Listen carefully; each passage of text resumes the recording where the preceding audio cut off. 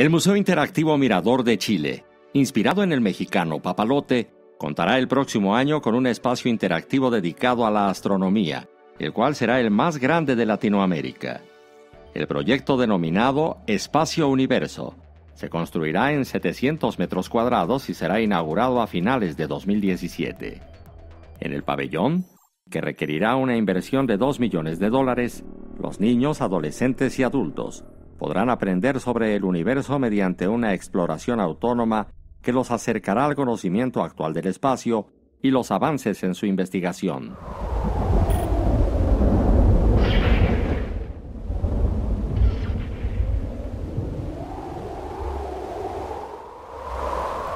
El espacio universo estará dividido en varias zonas donde se detallarán temáticas como el sistema solar, la vida de las estrellas, la Vía Láctea, las galaxias, el universo temprano y los diferentes tipos de observación del cielo. El año pasado se realizó el guion de contenidos y se habilitó el edificio donde se instalará la nueva atracción, mientras que este año se realizará el guion museográfico y el diseño y evaluación de los prototipos.